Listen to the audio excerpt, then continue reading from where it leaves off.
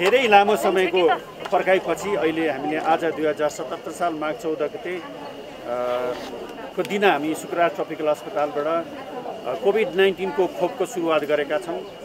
र यो खोप इतिहासकै खोप इतिहासको एउटा चाहिँ एउटा इतिहासको रूपमा लिन सकिन्छ किन भन्दा एक वर्षमा नै यो खोप उत्पादन भएको छ। थुप्रै देशहरूमा यसको परीक्षण भइराखेको छ र आजको परीक्षणसम्ममा यो खोपले कुनै पनि त्यस त्यस्ता प्रकारका दुष्परिणामहरू देखाएको छैन। त्यस्ता प्रकारका गम्भीर समस्याहरू के देखाएको छैन एकदम सुरक्षित देखिएको छ। त्यही भएर मैले निर्भ निर साथ आज खोप लगाएको छु। मसँगै डाक्टर अनुप डाक्टर रुना हाम्रो शङ्करजी शङ्कर दाईले पनि यो सु लगाउनु भएको छ। सबैलाई म धन्यवाद दिन चाहन्छु।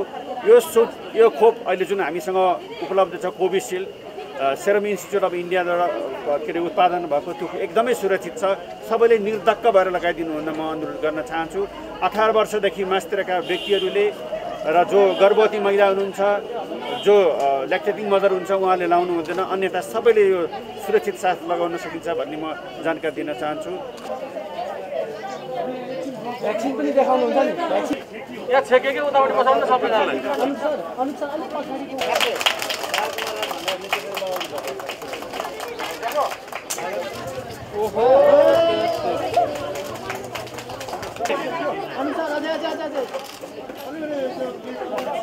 मैले खोप लगाउँदाखेरि मलाई खासै केही अनुभव पनि भयो। त्यो दुख्ने अर्ने त्यस्तो पनि भएको छैन अहिलेसम्म। आधी घन्टा म यहाँ बसी तपाईँहरूले देख्नुभयो।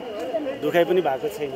अब यसको केही समस्याहरू देखिन्छ कि देखिँदैन आउने समयमा म तपाईँहरूलाई भन्छु। तर यो खोप लगाउँदाखेरि केही भइहाल्छ कि उति बेला मान्छे मरिहाल्ने हो कि जुन किसिमका बाहिरतिर आइरहेका रिमर्सहरू थिए त्यो रिमर्सहरू तपाईँहरूले पनि प्रत्यक्ष रूपमा आज देख्नुभयो। हामीले खोप लगायौँ हामी सुरक्षित छौँ। अहिलेसम्म कुनै किसिमको समस्या देखेको छैन। आधी घन्टा नागिसक्यो। होइन दुखाइ पनि भएको छैन मलाई।